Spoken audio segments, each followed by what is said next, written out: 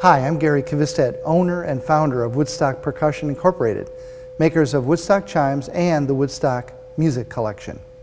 I'm very excited about a product made by Woodstock Chimes called the Awakening Bell. This beautiful looking and sounding instrument has many uses, including helping to induce relaxation, a way to start meetings, or simply as an eloquent dinner bell.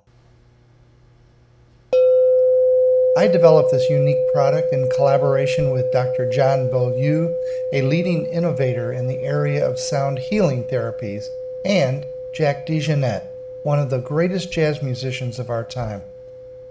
We'll begin with an introduction from Dr. Beaulieu and then hear from Jack DeJohnette. There's many, many uses for the awakening bell. I think it, it's as many uses as you can create for it because it's a simple sound. It's a sound that in its simplicity has profound effects on your body's biochemistry and the healing, your own natural healing response within yourself. Sound is universal, and the awakening bell uses sound to create a healing response.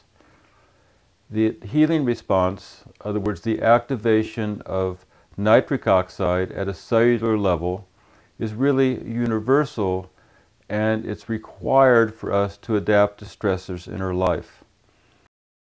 One of the amazing features of the Awakening Bell is that you can rub it, thereby producing a sustained sound.